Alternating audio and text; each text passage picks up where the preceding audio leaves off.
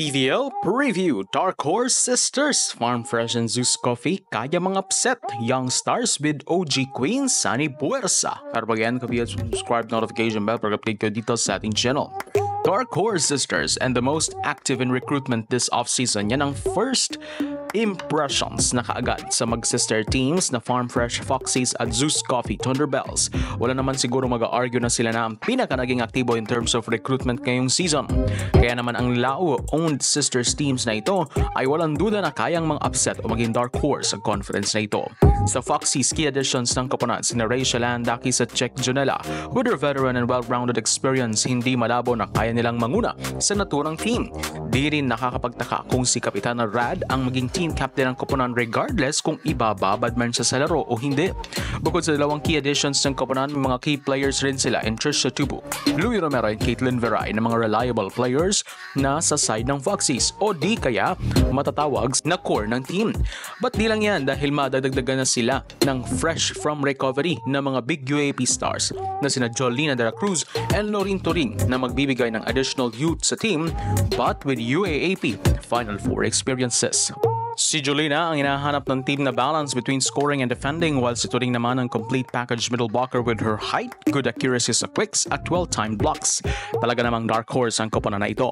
Yung preparation namin sobrang okay and alam ko na magpo-perform yung bawat isa sa amin this upcoming conference. Siguro, yung system lang talaga maayos namin and mabuo kasi as a team na every game talaga, ibibigay namin lahat ng best namin para manalo. Kailangan ko patunayan na deserve ko yung award na yon. Lagi ko rin sinasabi ko sa sarili ko na nung conference na yun dapat makontinue ko yun. Pero hindi naman importante yung individual award sa akin. Importante talaga is umangat yung ranking and hopefully makapasok sa Final Four. Yan ang mga pahayag ni Lupi Romero and Trisha Dibu. Bukod sa best players, nagdagdag rin sila ng new coach in Coach Bokbok. Although di pa naman nakaka-experience ang championship si Coach Bok as head coach, but still, with his deep analytical approach sa laro ay kaya niyang mayangat ang naturang koponan. Best and worst case for the team, aasa ang koponan sa leadership ni Rachel Andaki sa Czech Judela. Worst case, kung ma-choke sila sa mga big games against big teams dahil ito ang magiging difference makers sa format ngayon ng PBL.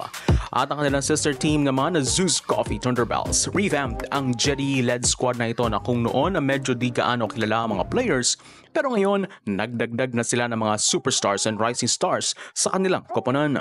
Key additions, Jovelyn Gonzaga, Chai Troncoso, Kate Santiago, Joan Narit, Chini Arroyo. Magandang balance ng experience and young minds ang ginawa na ito ng Zeus. Ang mga di masyado nag-shine sa Foxes ay nilipat nila dito sa chance na mas kuminang ang mga players na ito.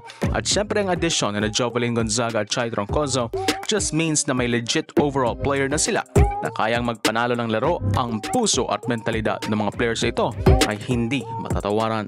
At syempre huwag kalimutang presensya ni Taya Gagate sa liga na walang duda mga ngain ng mga players sa liga na ito. She's one of the tallest and agile middle blocker kasama pang international awards and national team experiences niya.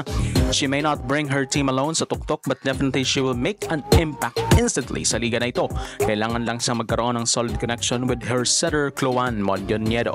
Sobrang thankful ako kasi hindi ako, ako naka-feel na any na OP ako or feeling na kailangan ko ng malaking adjustment. Hindi, never ko na feel yun ako, thankful ako sa mga teammates ko ngayon kasi very welcoming sila. And sa bagay, volleyball, same language. Nagkakaindihan kayo agad and nag-against nyo yung isa't isa. Personal goals would be maybe just contribute a lot and help the team win the games.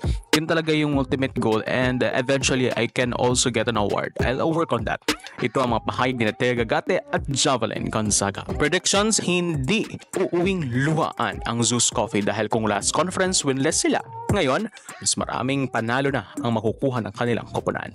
So, Rotio, of bonus channel. Please subscribe notification bell para update ko dito sa ating channel.